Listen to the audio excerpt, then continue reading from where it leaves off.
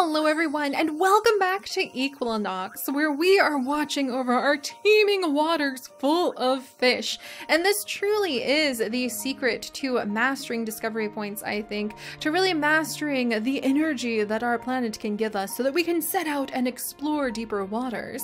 Because they have managed to bump us up 2,000 more discovery points. They're having babies like nobody's business. This is fantastic.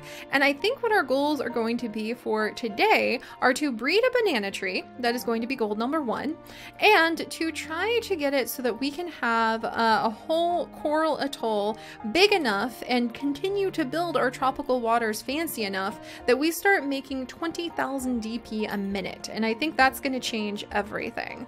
So, so far, the fish are starting to get a little crowded. Uh, I, I really don't want to lose some of our precious cyan fish. So even though this is really expensive, I'm actually going to move a couple of them over here.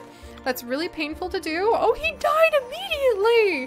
What was that waste of points? Is this really that terrible an environment? Okay, well, note to self, a strange nut tree has evolved. Is this it? This poor little thing? Okay, okay, okay. Where's a good where's a good space for a nut tree? Everybody stop everything. Perfect woodland area. We need a perfect woodland area. Woodland, woodland, woodland, woodland. Uh, I think that actually one of our big problems is that we have started to lose so much of our woodland. Wait, woodland! Perfect woodland area for our precious, precious nut tree. We're gonna go ahead and we are going to, oh, another 40,000 that I'm probably wasting. But I am not wasting a unique mutation on something. Are you kidding me? Uh, we'll put it right there. Are you gonna be okay? population density, environment. Is this not good enough for you, little nut tree? Oh, the altitude factor. I didn't think about that. It needs to go up. Okay, dang it. Why did I not think about that? Don't look at this, guys. This is painful. Are you happy here? Oh, boom. All right, so it's finally happy. Uh, I have wasted much DP. I feel a little shy about this. We're the squirrels are already surveying this nut tree, wondering what the heck we're going to be doing with it. But we're gonna speed things along for a minute. There we go. I want to see what's so special about this nut tree. Is it just the color? I think it's just the color is a little different. So I'm gonna mark it so that we don't forget. And yeah, I'm pretty sure just the color is a little bit different and that's what makes it so special. But all right, so we have a unique mutation on that nut tree. Noted. Uh, a guinea pig has caught a disease. Wait, what? Not the guinea pigs! Due to an unsuitable biome? One? Your health is so low. It says that all you need... You like almost anything though, my dear. Okay, so this is apparently an unhealthy biome. It has a lot of dry land. It just doesn't have everything it needs to be a woodland here, huh? Alright, that's it. We're gonna spread a woodland aggressively. Uh, oregano, I find, really helps to get the point across. And snapdragons, too. Snapdragons do help to get the point across that this is a woodland. Um, and so do buttercups. They're usually my go-to, but lately my buttercups have been dying off really quickly. I'm not exactly sure why. Uh, and oregano. So we're to put a little pinch of oregano down here. I think the guinea pig is better now. He just really needed a stable woodland area and I think I have provided. All right, hopefully that worked. Also, I think I was trying to breed pansies at one point, and I don't really know what happened to that project. Apparently, I unlocked pansies. I have no idea where they are. I didn't know I had pansies. where are pansies? Uh, I was so distracted with other things that I completely missed the point of pansies. Um, well, all right, all right, let's back up a little bit. Pretty sure I bred pansies. Did I? There they are. Okay, they're very pretty. Wow, they like woodland. Well, I just made a very thorough woodland. Um, and what do they like to be near? They like to be near grasses. Well, I have a little bit of both right over here for you, my dear. There are grasses and woodland right here. So we'll put a little a little patch of pansies right there. And hopefully they'll be happy. Can they evolve into anything? they become lilies if they're white. Oh, get out of my way. Oh, that's too expensive. Okay, well, we'll come back to, to making white lilies later because I do love lilies. Okay, we've got ducklings and mama duck over there. Back to what I was trying to focus on. let's work on a banana tree in the background. Hmm. Where's our healthiest and happiest palm tree? There's age. Environment is not very stable, interestingly enough. Spreads tropical. Flowery grass spreads tropical. It doesn't seem to be doing enough, though. I'm going to put down more of these leafy, leafy guys. And these leafy plants love to be near stones, so we really need to be mindful of that. They like stones, not rocks. So everywhere we have these stones, I'm going to put a little patch of rocks right next to them. There we go. We have more lizards spreading about, which makes me happy. And let's put some stones down here because this will make all of these guys happy. A few stones just kind of sprinkled around. I think that's why we haven't seen a lot of the leafy plants spreading, is that they prefer stones than the rocks. And then tropical, leafy. Yeah, now they should be happy. Wonderful. Okay. Yeah, now it's it's like, yay, I get to be near stones. And then once we get that done, the palm trees. Yeah, the environment on the palm trees, suitable biome. Population density is a little high, is what the palm trees are complaining about now. But I can start tweaking their productivity in just a bit here. Okay, so what does their productivity need to be for a banana? 1.2. That's really high. That's like 18%. And I can't quite afford that yet. If I wait just a second though. Okay. Don't die. I will be so irate with you if you die. I'm gonna go ahead and take out your younger brother just to give you a better chance. So I just really gave you a huge health boost. You should hopefully produce a very, very, very, very productive palm tree. Because Operation Banana is on. Um, and then, oh, I completed a task? Oh, it was an auto task. And then we do need to keep spreading the coral. And to do that, the coral is unhappy because its population density is now so high. Um, you really would be happy down here too. Yeah, we're to keep spreading the coral along here as far as I can go. And is this making it tropical? Slowly but surely. What else will spread it? Tropical. Yeah, the it's interesting because the only thing that really spreads tropical to make this a suitable biome is the tropical seaweed in particular. Oh, its population density is getting a little high. I should spread them out a little more. I can be a little more generous with that. Look, we're starting to finally get some solid coloration of tropical over here. About time. Jeez, and look at our little, oh, we've got little beautiful rainbow lizards just chilling out over here. I love their color. Why would I ever, yeah, they don't even change color. I could make them smaller into adorable little geckos. Look, he's going under the, oh, he died! that was dramatic. One second I'm admiring my lizards, the next second death is upon them. But look at how beautiful our little tropical rainbow lizards are. That makes me happy. Alright, how are we doing on productive baby trees? What's your productivity? Um, okay, population density is high. You're very old. I'm gonna go ahead and remove this guy. Yeah, population density is going higher. So hopefully this one will produce a happier, uh, a happy baby at some point soon. I may have to remove this palm tree too in order to encourage it. They seem to spread very slowly. Speaking of spreading slowly, Oh, I need to get more rocks. Almost forgot. Tropical seaweed will not put up not being next to rocks or stones. So, we're to have a little cluster of stones. Alright, we're going to make a rocky shore. That is going to be our operation for the moment, my friends. A nice little rocky shoreline. We'll try to make it a little artistic. There we go. Nice. I like it. Do little patches here, little patches there. That'll make everybody happy. That'll make the coral happy in the future. There we go. And we'll just get like a nice tropical establishment going. It's so much work to get this planet up and, and at it that I just am never going to leave it alone now.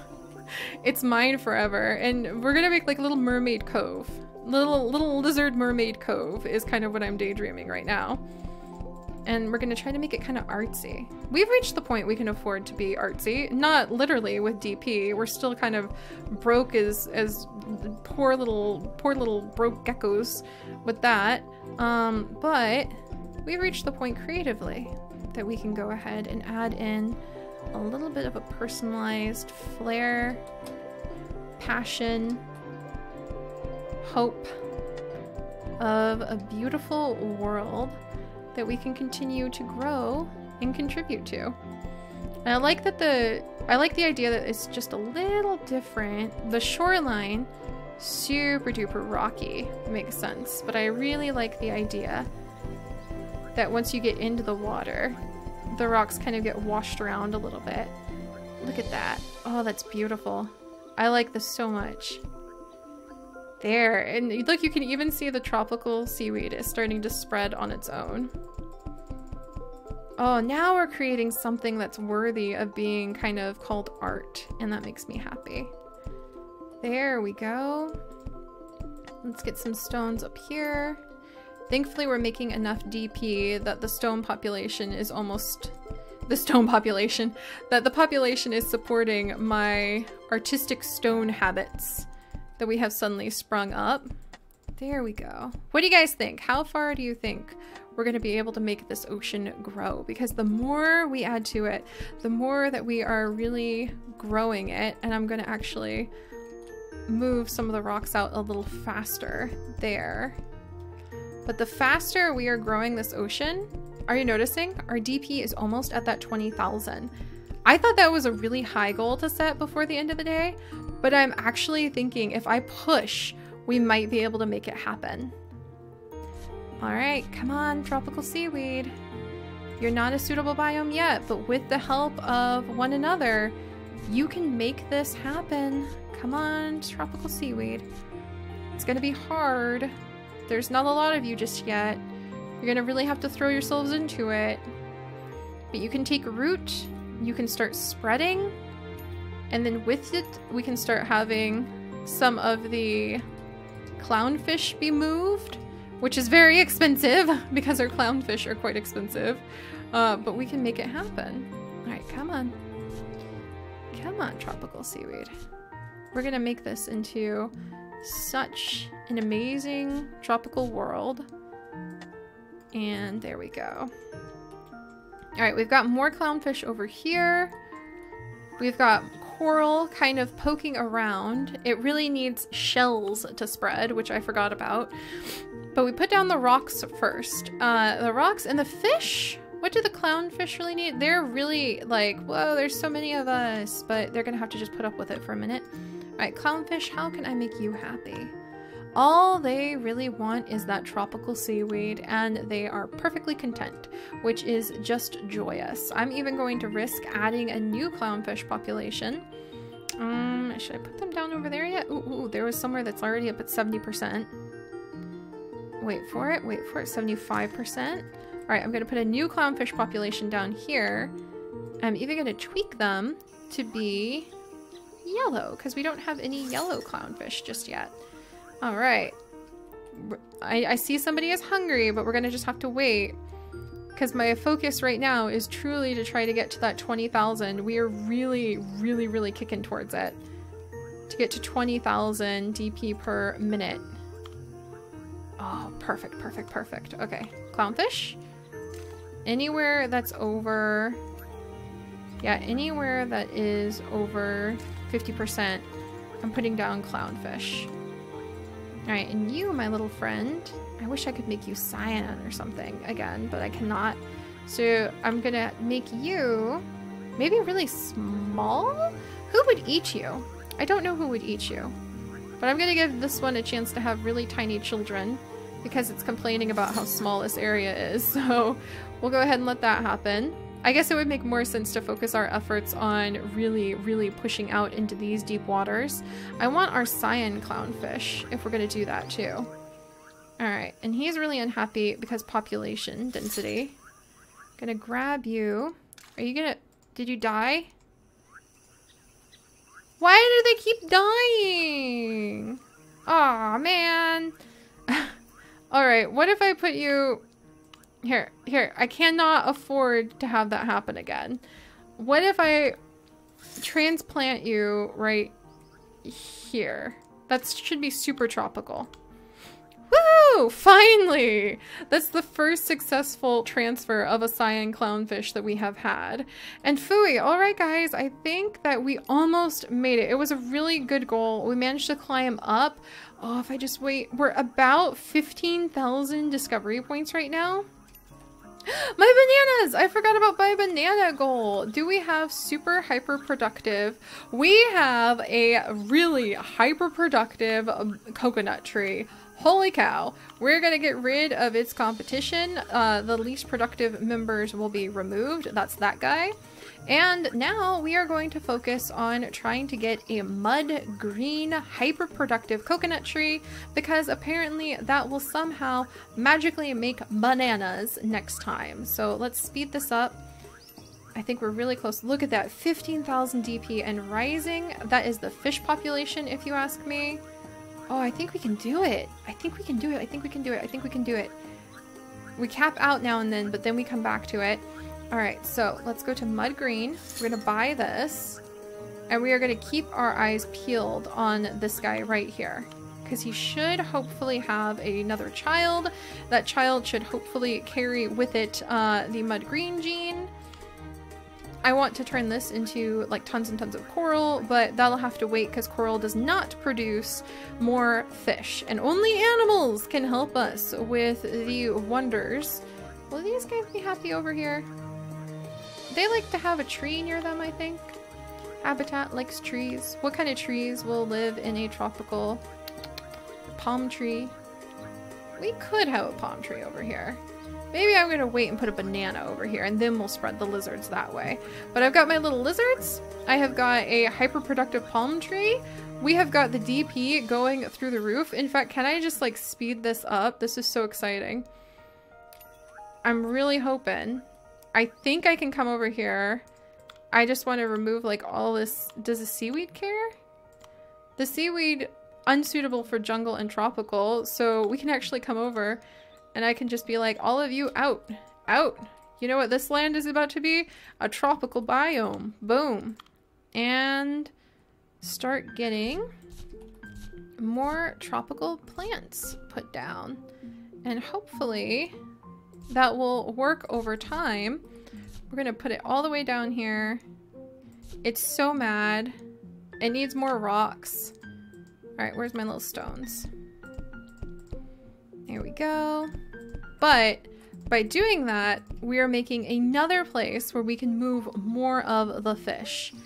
I want to move another clownfish down here and continue to encourage the coral to come down here and just make so many different colors as time goes on. I think I can encourage the coral to kind of sneak its way down if I put some shells, like a trail of shells. Alright, alright, hang on. You know what? We're not leaving until we manage to hit Okay, that's only 50%. We're not leaving until we do manage to hit 20,000 DP per minute because I know that's going to change everything. We're going to discover this this ocean is teeming with life and just like the real life ocean, it will result in everybody thriving. The the life that comes out of our ocean is what creates so much life on our whole planet. It really is underrated so much so. I really wish, like, I had to go way out of my way to learn just how vital the ocean is for life on the entire planet, but I really, really wish it was something that was taught more actively. All right, so let's come over here and grab more tropical seaweed. There we go. Okay, that was everything I had. I threw literally everything I had at it. We're just gonna speed up. Let's keep an eye. Is that a muddy green coconut? it can become a banana! If only I had more DP! Alright. We're just gonna speed up. We are going to go ahead. We're going to start breeding up a banana tree. Holy cow. And I think we're about to hit both of our goals. 17,000. 16,000, 17,000 discovery points per minute and rising. The fish populations are spreading in this broad, beautiful open ocean. We have yellow ones. We have got orange ones. We've got blue ones. Absolutely beautiful. Can I move another fish? Is it over 50% yet? It is slowly but surely climbing higher and higher in how tropical this area is. It is now at 64% in some areas. I think I can risk moving another one of my, like, help, there's too many of us cyans. Don't die, don't die. And a new established population of the beautiful cyan clownfish. I think it's gonna happen. Oh, we went down on DP. Our DP is nosediving. Oh no! We were so close.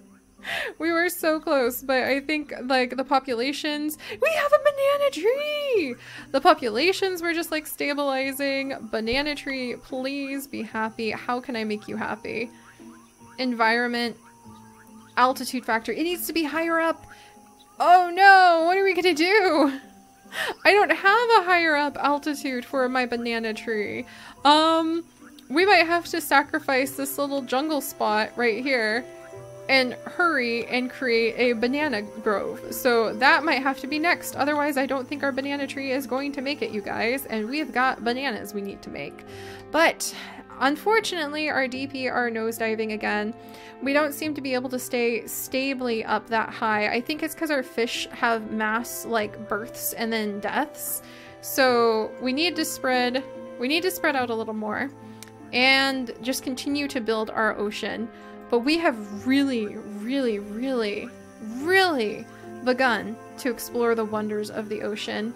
And I'm sure if we continue to push at it, we'll be able to, to make something fantastic for the whole world. Also, I hope everybody else is doing okay. I really hope we still have populations of wolves, for instance, and we do, watching over the lilac sheep that apparently they have been uh, definitely shearing the population down for sure. They seem to be going for the fluffy sheep rather than the mountain goats. And it looks like our chickens are holding steady. We've still got foxes that share their life with the wolves. And I think everybody with the warthogs has been prospering.